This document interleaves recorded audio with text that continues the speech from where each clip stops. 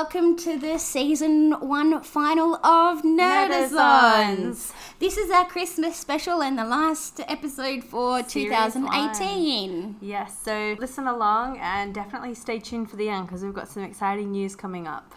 Yes, we do. I'm Ah. so excited. Okay, so uh, this month we're talking everything Christmas, and Except for my penny dreadful. it's not very Christmassy. Well, there is actually a tradition to tell scary stories over Christmas. Yeah. We'll get back into that. Yes, later. So this movie of the month is a Christmas classic.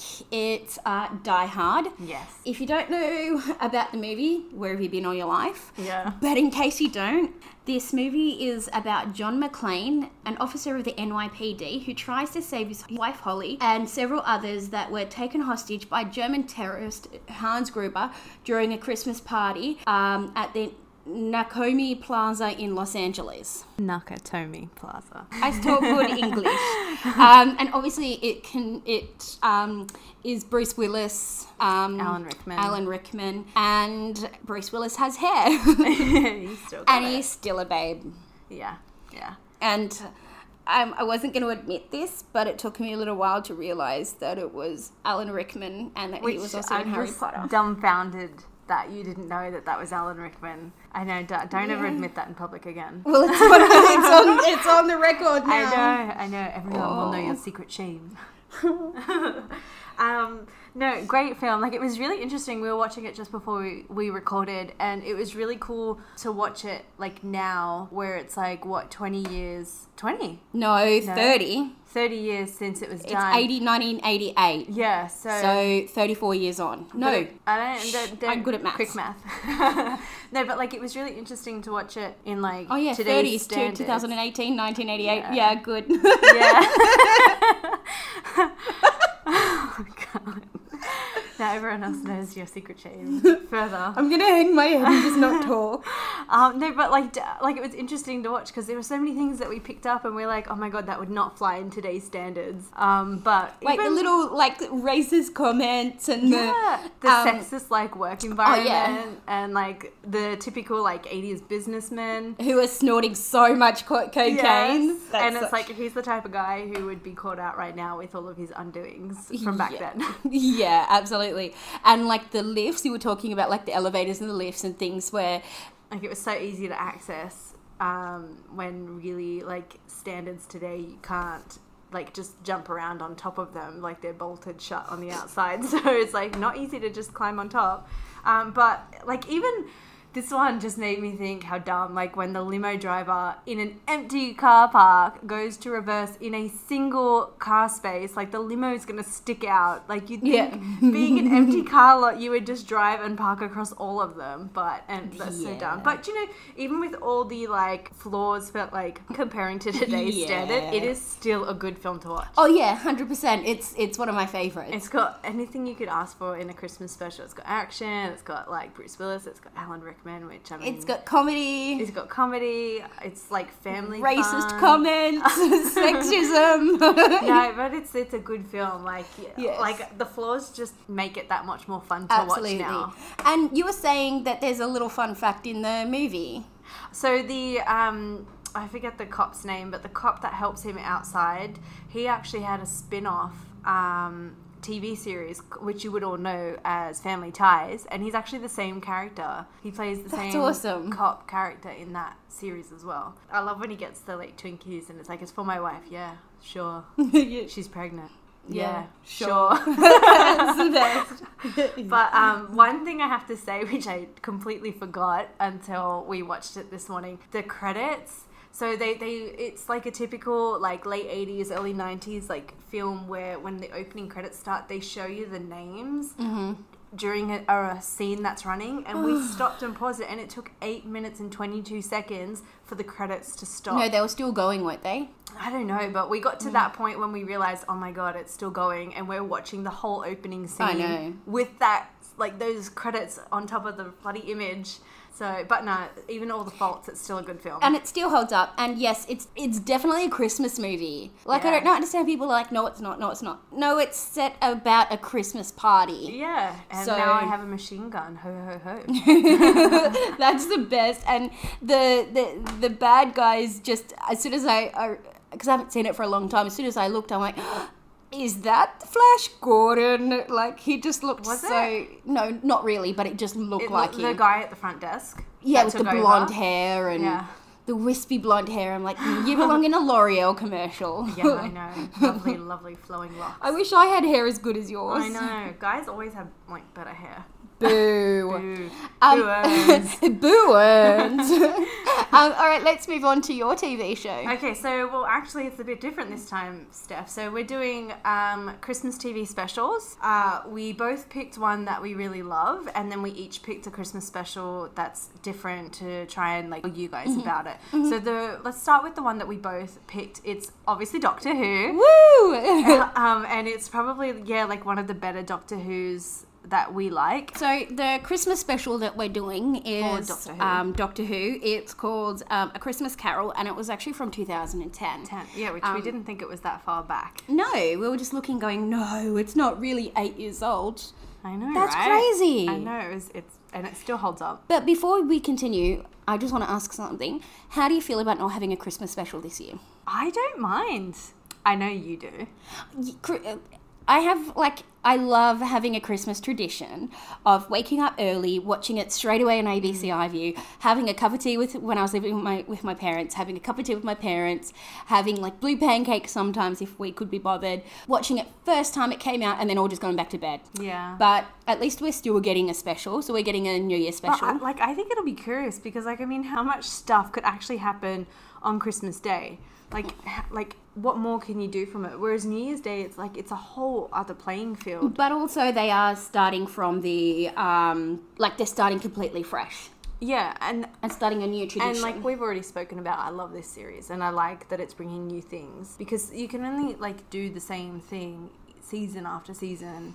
And that you know how the rumors were that we're going to get a season every two years? Nah, they've, we're definitely getting one next year. Yay! Hooray! I'm Merry really Christmas! I'm so excited. So anyway, let's go back to the Christmas, Carol. spe- the Christmas special. So pretty much what this one is is it's set in a another like planet, and this planet um, is controlled by kind of like the Scrooge type of person, which is played by Michael Gambon. Um, and he's kind of like the Scrooge. I guess you could say he, he, he owns like everything in this town, and like he's in control, and he makes everyone's life miserable. And um, like Rory and Amy are gonna crash very soon, so the doctor's trying to get to to the town to say, look, you need to help them. You need to um, like allow the ship to land. And then so what he does is it's kind of a really interesting thing. He goes back to when he like Michael Gambon was a kid to try and see why he became like that and change his timeline to make him a, a better person later on. But it actually kind of backfires a little bit. It does. But it's so beautiful. It is really beautiful to find that you know he was in love with another with a woman and that she was frozen because she was But like, was he though? Because if the doctor hadn't gone back, he never would have gone down in. Okay, so we should probably mention that um, a lot of people who can't pay for things in that world will like offer their life and they get frozen. Um, and that is like a life debt, and he controls all of that. So that's how he has become so rich and powerful. And yeah, as a child, when the doctor goes back when he's a child, he takes him into the big vault area where everyone is, and he comes across this woman who's beautiful. And then they keep opening up like the vault. or like frozen sarcophagus Mm-hmm. sort of thing and let her out and then he just eventually falls in love with this woman And but he can only spend a few hours with her at a time because he has to put her back because she will every age. year at christmas Every year at Christmas, and there were tears, definite tears. yeah but so like gorgeous. the music's beautiful uh, even like even though you know it's like so cgi like the fish sort of like dancing around Yeah, 'cause in there like was midair is really fish pretty in the um just out. like the gravitational pull or something Yeah, so so they were just uh, out in the open fish, and it was just. Absolutely stunningly beautiful. It was. I really. This is my favorite Christmas special app. yes. Yeah. mine too. Because it's just, yeah, absolutely beautiful. 10 out of 10. Yeah, just prepare the tissues if you. And I also really loved Matt Smith. I didn't like Matt Smith in the beginning. You know, at the beginning when they were like, when Amy kept talking about, and, and I travelled and it, we've been travelling ever since, that to me was really dumb. But once we got over the whole new Matt Smith thing in the new beginning, I actually really enjoyed Matt Smith um, until it became, until he, he regenerated and we got the, we got Clara. But Yeah. Yeah. I don't know, towards the end he got a bit child more childish and like he just he was different and I didn't like him towards the end, but I still really like his first episode when he became Oh yeah, the Prisoner Doctor. Zero. Uh, That was like a really good app. That was that was a great episode. But um But where did his eyebrows go? he's got such a big forehead. he does, but like if you if you noticed, he has eyebrows in the first season, and then he just they just disappear. Disappear. Maybe it's he's just got really fair hair. Maybe. But we're getting way into this episode, so let's um hear Steph's uh, TV episode pick that she's decided to talk about. Okay, so this one um, is Black Mirror. There's um, an episode called White Christmas. This was a great episode, and if you've ever watched Black Mirror, it's all about how society, technology has taken over society and things. Um, and I know that you haven't seen it. I do apologize, but there are going to be spoilers. That's okay. I'm I'm okay with that. Okay, so um, this the episode I'm doing is White Christmas. It, episode is about three interconnected tales of technology run amok during the Christmas season, are told by two men in a remote outpost in a frozen wilderness. Basically, what happens is there's Jon Hamm, and he created this technology where you know how you would get Siri.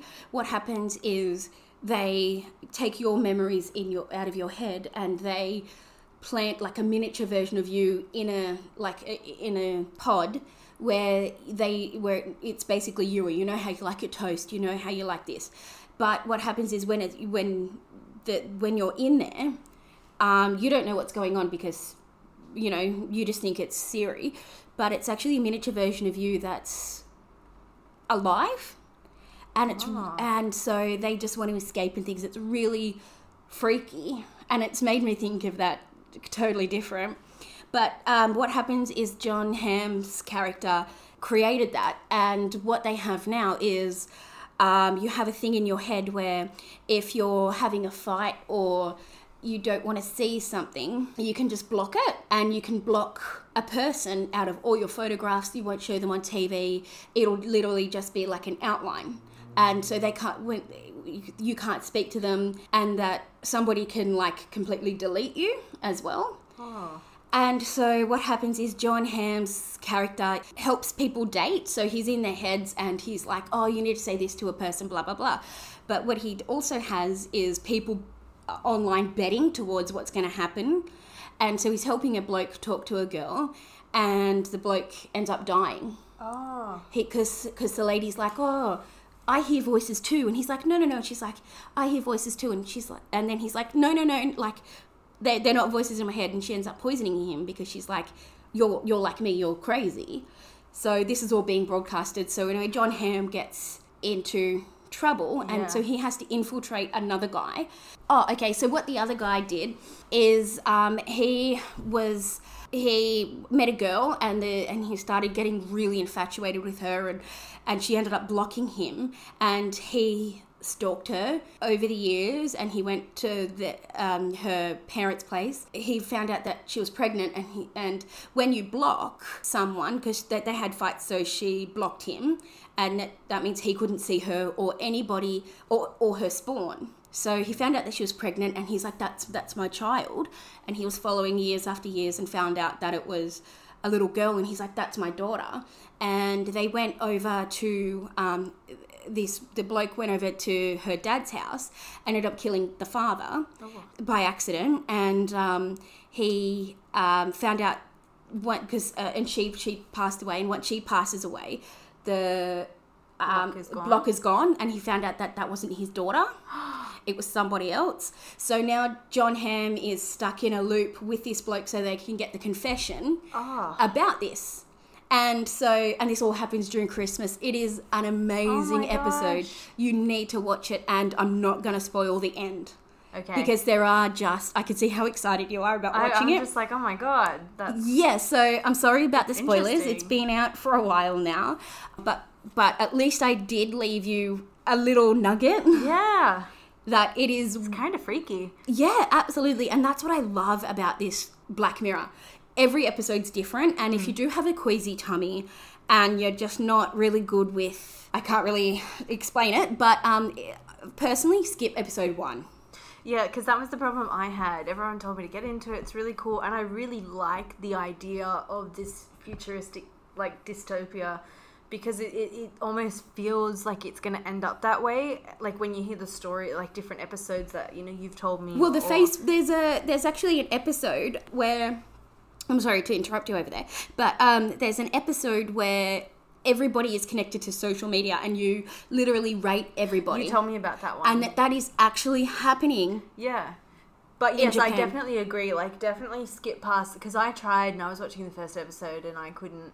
If you like things like effed up and you like politics, yeah. watch it. I actually enjoyed season episode one because I really liked the what it was about. It was about how people can corrupt their the the gov- the government and how they can you know power to the people kind of thing. Yeah.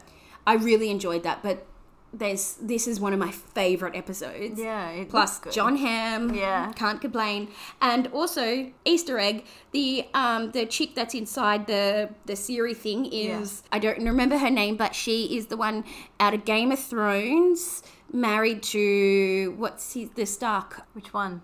the one who died at the Red Wedding. Oh, the doctor, the one that Yeah, yeah, found, yeah, the yeah, doctor yeah, that yeah, they yeah. didn't want to That's get her. married. That's oh, her. I don't know her name. Yeah. I'm sorry, I don't know her name. Yeah, either. so tell me what you think of this episode. It is great. It was really a toss up between this one and Around the Twist. Oh, yeah. Um, but I just thought Round the Twist is. It wasn't that great after rewatching it. when you're older. yeah, that show doesn't hold up. Uh, all right, so that's enough of me. What's your Christmas?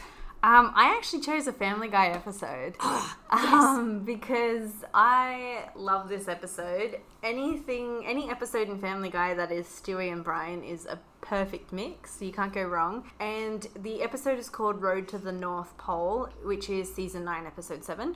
And it's pretty much where you know they wait like hours in line to go and get a, like uh, see Santa, and then Santa just leaves because he's finished for the day. and then Stewie is pissed. He wants to go to the North Pole, and he actually wants to go and kill Santa. um, and it's just it's like the even the intros for Stewie and Brian episode are great. It's like really classic. It's got um, all the like classic photos and like the whole introduction. And like Seth Seth MacFarlane um, has a very Frank Sinatra esque voice. So when he does like singing, it sounds really, really good. And they're so creative with their music. So there's music all through it. Um, the songs are really great. You gotta listen to. They're hilarious. And like even like it's just little things are so funny. For instance, they're all singing in the beginning, but the TV was playing like a fireplace. It was the actual TV, and then I was talking to my partner, and he goes, "There actually was a TV channel that was solely a fireplace to give you the illusion that there was a fireplace in the room." and I'm like, "No way! There was actually a TV channel devoted to that." That's awesome. I know it's really cool, and even like Stewie, like he's so like evil and badass, and but then he has these moments where he's still like a child. Like at the beginning, he's just like, "What are the odds that Santa comes to our mall out of the whole of the America? We're the lucky ones." And it's just like, "Are you really that dumb?" Like it's and, and like you can get yourself all the way to the North Pole, but you um you don't realize that Santa's not real. But they they like like spoiler alert, they do actually get there, but then like it's it's definitely that's where it kicks off from there in the North Pole. Like the mm-hmm. music is even better. One of my favorite Christmas songs is there. At least listen to the soundtrack if you can. I try not to spoil it, even though they're only twenty minute episodes. I can't go into it anymore because I will ruin it because it's such a mm-hmm. short episode. You know, it just it's a really good one. They they also do tackle a really good message in that episode. Um, it's set around the whole materialistic mm-hmm. idea of Christmas and like they trying to show you, you know, it's not always about the presents. And it's it can be about you know being together with people family. Exactly. So they really do um, tackle that idea as well. So Definitely a 10 out of 10 fun, like Christmas Yeah. special if you want to have a fun one. Also, Family Guy, you can't go wrong. Exactly. I love Family Guy. Yeah. I love all those, like, as you probably noticed. No, do you? I never knew that you like cartoons. I do. Oh my gosh, this morning we put the TV on and my partner had something on and then he changed it. It's like, fine, you can watch this. Then he put the cartoon channel. I still watch the cartoon channel on Yes. the weekend. So, but there are all of our Christmas TV picks for you to go and have a little think about. Um, have a watch, watch Die Hard, all of that. So we let us know what you think of them all. New Christmas tradition, watch Die Hard. Yeah, we should. Yeah. Like, it should always be a tradition. Yeah. Although, like, one of my like tradition movies is always Nightmare Before Christmas. So, Mine's Home Alone. so's my partner too. We have that here.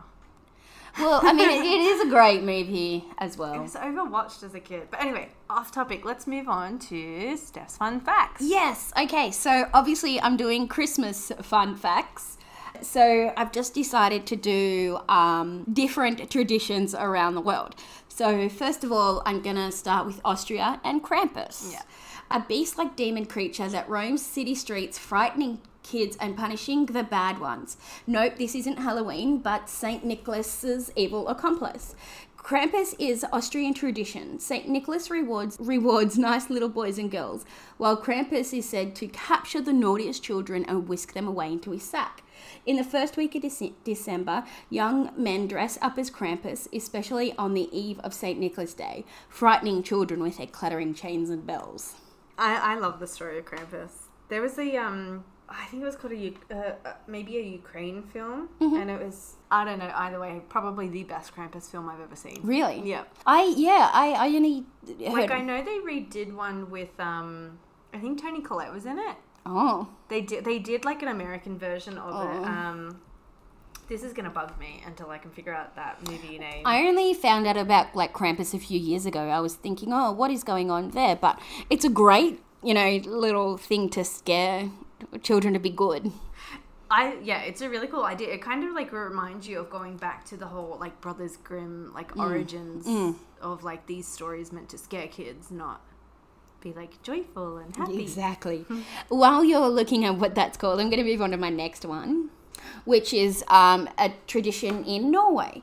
Perhaps one of the most unorthodox Christmas Eve traditions can be found in Norway, where people hide their brooms. It is a tradition that dates back centuries when people believed that witches and evil spirits came out on Christmas Eve looking for brooms to ride on.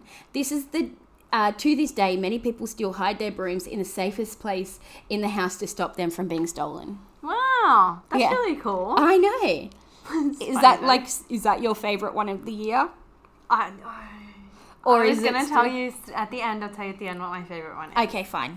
fine. Um, all right, and the next one is from the USA. This one I think is one of my favorites. The Christmas pickle is a tradition for some people in the in the United States. A decoration in the shape of a pickle is hidden in the Christmas tree when with the finder receiving either a reward or good fortune the following year. Wow, but wouldn't that stink? No, it's a it's a ornament shaped like a pickle. Oh, right, right, right, right, right. So you just hide it in the middle of the tree, and Yeah. someone has to go and find it. Yeah.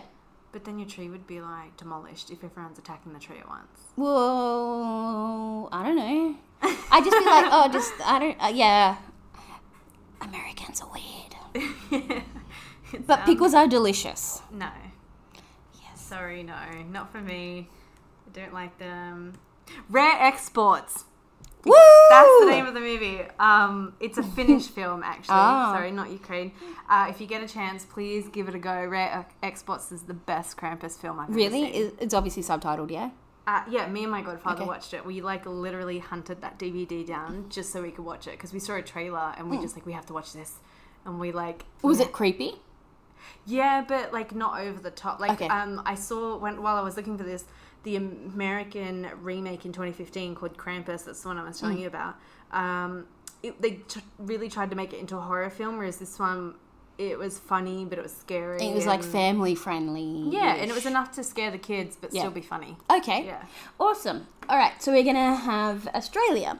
In Australia, Christmas comes um, comes in towards the beginning of summer holidays. Children have their sum, summer holidays from December to early February. So some people might even be camping at Christmas. Christmas is too hot in Christmas um, time in Australia. So there's quite often um, a lot of massive bushfires in the country. Many volunteer bushfires are involved in saving people and property and travel all over the Australia.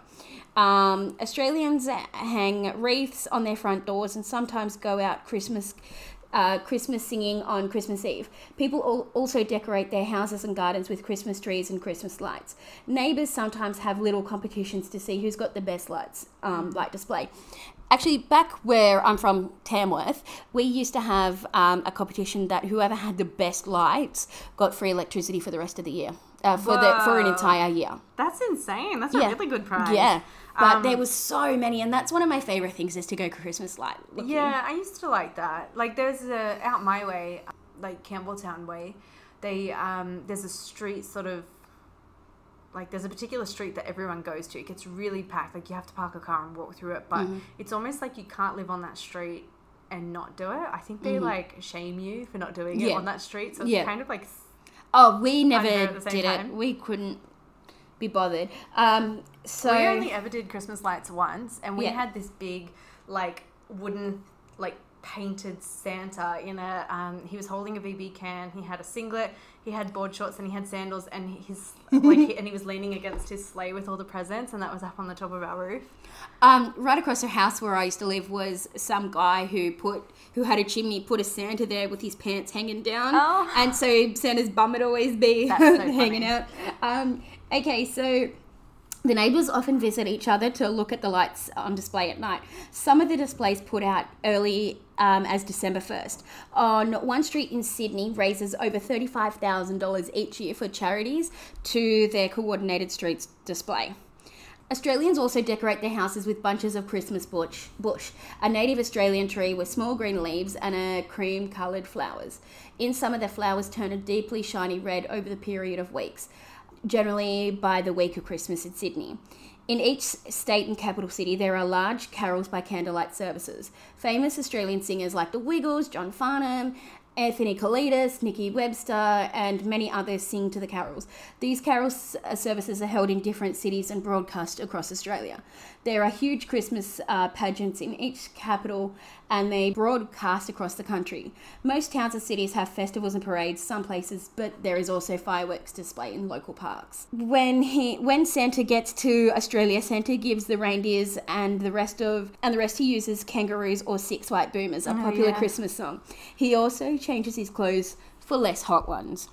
And growing up, we used to leave a, a can of VB and some hmm. some bickies for Santa, or Carrots for the reindeer. and carrots for the reindeer, or six white boomers, and um, also some Vegemite toast Oh, in case he got hungry as well. Oh, that's cute. Yeah, which you know, I was like, what, "What's going?" And then I caught Dad one day. Oh, yeah. There you Yeah. go. You found out. Santa's not real. Spoilers. now I'm gonna do um, a few more that um, in Japan. Uh, fried chicken is often eaten on Christmas Day. This is the busiest year of the year. This, this is the busiest time of the year for restaurants such as KFC, and people can place orders at their Yeah. local fast food restaurant in advance. There was an advertise, advertising campaign in KFC in 1974 called Kentucky for Christmas, which was very successful and made KFC popular for Christmas. The traditional Japanese food for, uh, food is Christmas cake, but not as rich as fruity, but usually a sponge cake decorated with strawberries, whipped cream, and shortcake emoji is Japanese for Christmas cake. Aww. Uh, so that's my awesome fun facts about That's, um, Christmas. Pretty cool. You had Yeah. quite a bit there, I know. especially on Australia. I know. yeah, but No, I like them, but it's the end of the year. I know. And my favorite fact is Yep. still the Mike Myers mask. uh, that's what I was going to say. I bet you any money it's Mike Myers That's mask. the best, like, um, Absolutely. Fun fact I've ever heard ever.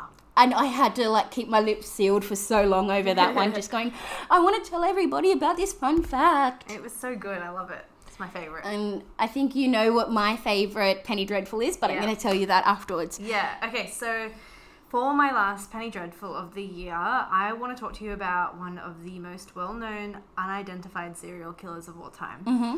It is one of my favorite stories, and it has kept me fascinated since the very first day I ever heard about it. Um, I absolutely love this story. Um, and I'm going to talk to you about the one and only Jack the Ripper and the Ripper Five, as they're called. What? Um, I only knew that there was just Jack the Ripper. I didn't know that there was five of them. No, they're the victims. Oh. um, I'm actually going to get into the nitty gritties Yeah. of the Ripper Five. Um, so if there is anyone who doesn't want to hear about it or has a squeamish stomach, please skip to the end because we have some really awesome news I am so pumped to tell you about. But I am going to get into it a little bit more gory um, for this one. So let's start with what we actually do know. So about Jack the Ripper, he was highly active in the Whitechapel district of London in 1888. At that time, it was a highly impoverished area. Uh, full of a lot of working girls and bars, etc. Um, he was also known at the time as the Whitechapel murderer and Leather Apron. So there's some other names that you may not have heard of. We also know that the Ripper's victims were typically working girls, or in another way to put it, they were prostitutes. Um, and they lived and worked in the slums of the East End of London.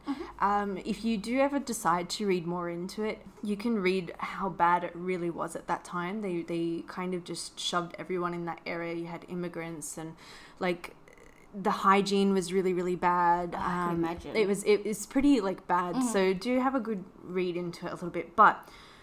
There were five well known victims, um, and their names were Mary Ann Nichols, Annie Chapman, Elizabeth Stride, Catherine Eddowes, and Mary Jane Kelly. So they're known as sometimes the Conical Five, or I just refer to them as the Ripper Five. So they're the five main victims. Others around that are just speculated. They don't know if it's So these are con- confirmations. Yeah, and one of them is uh, unsure. I'll get into that. So, as I said, any sensitive viewers, please skip ahead. Um, I'm going to get into it now. So, Ms. Nichols was the first to be found out of the Ripper Five. She was found August 31st in 1888. Her death was quite mild to the rest of the murders. Um, so, her throat was severed by two cuts, and the lower part of her abdomen was partly ripped open by a deep, jagged wound. She had several other incisions on the abdomen, which were caused by the same knife. So, quite mild compared to the rest. Um, Annie Chapman was the next victim. She was found on September 8, 1888. So, it's kind of like eight days after the first victim. In the same situation, her throat was severed by two cuts and her abdomen was slashed entirely open this time. It was later discovered that the uterus had been removed. yeah. The next one, it's kind of a duo. So they were both found on the exact same night.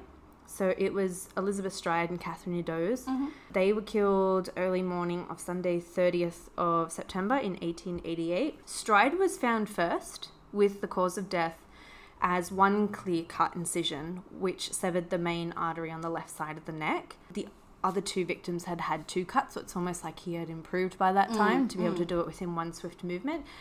Um, one thing a lot of people don't know, actually, really quickly, side note, is all the victims died from the cut to the throat before any of the mutilation had begun. So, uh, back to it. Um, so, she had one clean cut across. Stride had an absence of any mutilations to the abdomen, which led to various debates, and it is still a high debate about whether or not Stride's murder should be attributed to the Ripper.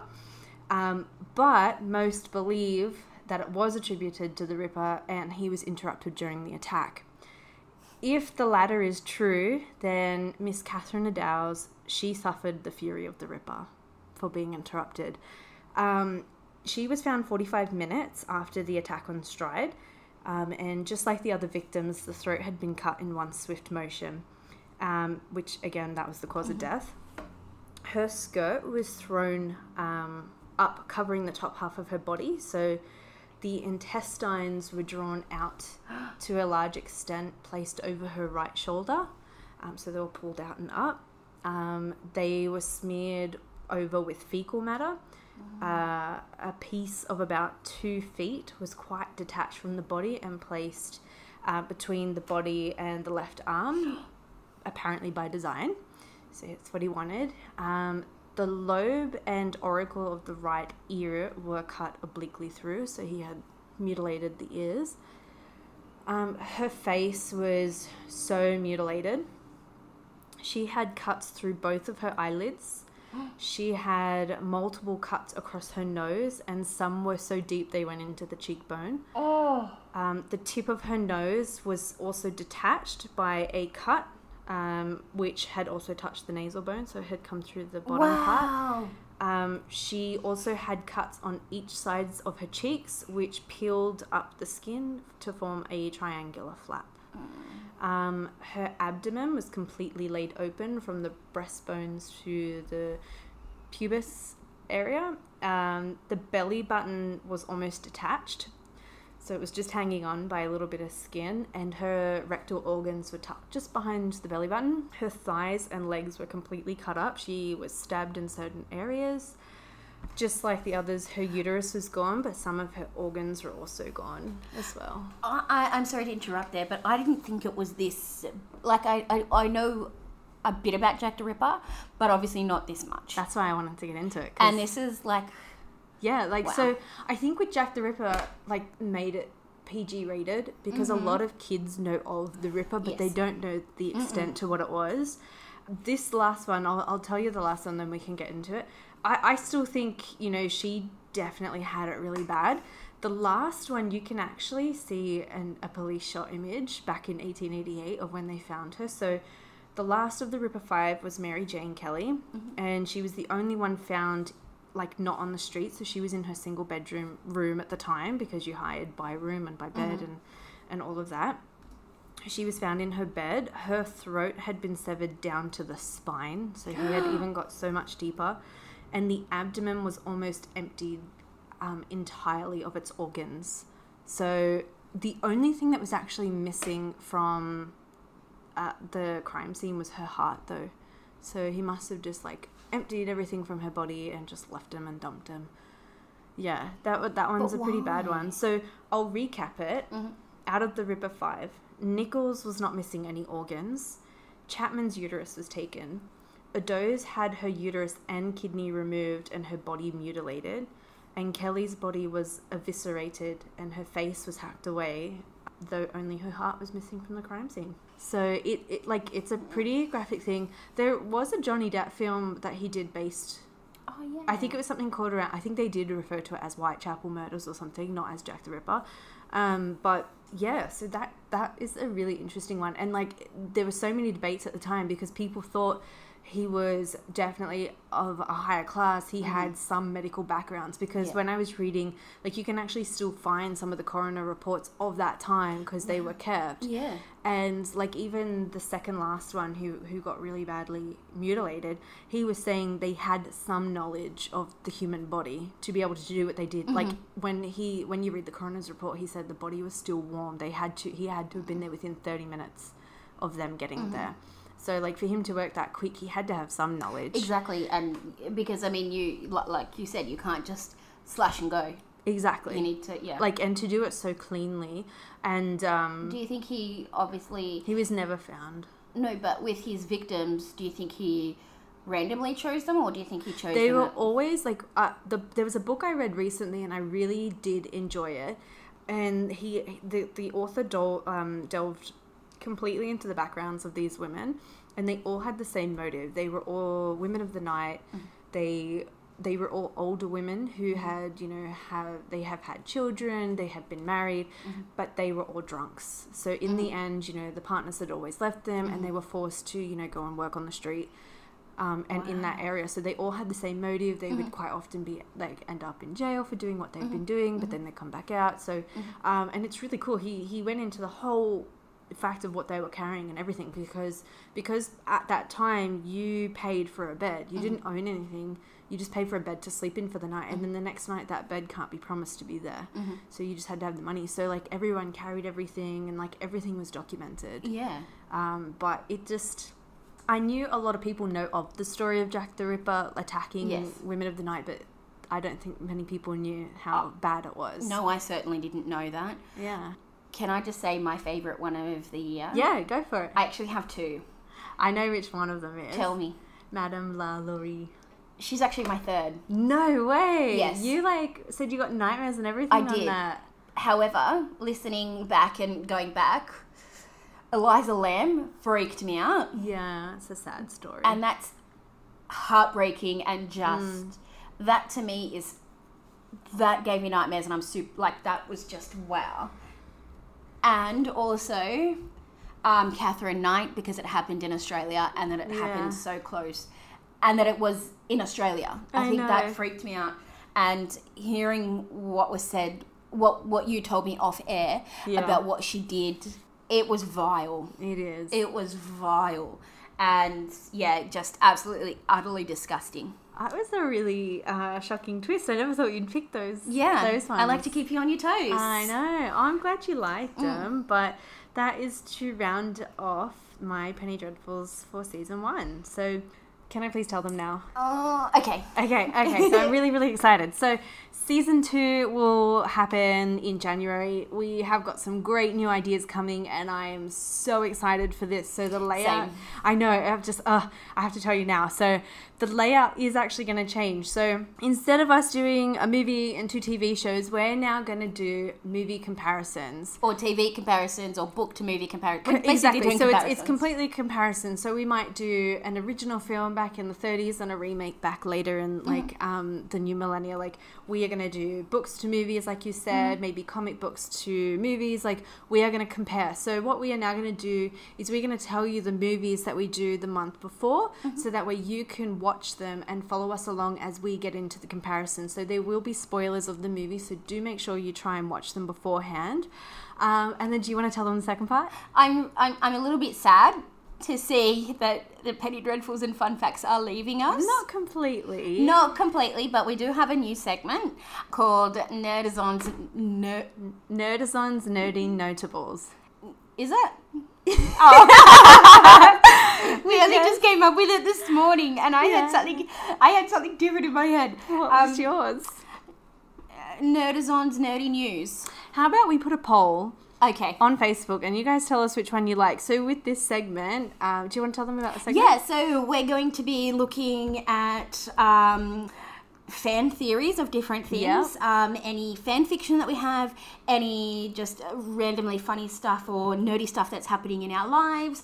Um, basically, it's us to talk about whatever we want. Yes. so we're it's not our podcast and not yours. and we can do what we want. Yeah. um, yeah. Just so like. Back to the fun facts and the penny dreadfuls. They're not going to completely go. We could happen to find new Mm-hmm. ones for the next season that we will talk about, but this just opens it up a bit. And you guys can definitely let us know what you like to hear from Mm-hmm. us. Um, so you know if you like the fan theories or if you like the fun facts, let us know what what you guys like, and we can do more. Mm-hmm. I of that. guarantee my fun facts will not be leaving anytime soon. I know they won't. You're just No. always like that. But drum roll, please. Okay, so the first movie that we are going to do for season two is we are going to compare Suicide Squad to the cartoon movie Batman Assault on Arkham. I'm so excited. I'm so I know. So make sure you watch them. I'll repeat it again. The cartoon is Batman Assault on Arkham, and the movie is Suicide Squad. So if you've got a chance, with the cartoon one, you can actually find that on Watch Cartoon Online. It's a free streaming service online. So do load it up, have a look, watch it. Trust me, you won't be disappointed if you watch that one. And I mean, we, we've all seen the other one. We just won't go into that too much. Let's leave that for season two. So Happy New Year, Happy Merry New Christmas. Year, Merry Christmas, and we hope you guys have a great holiday.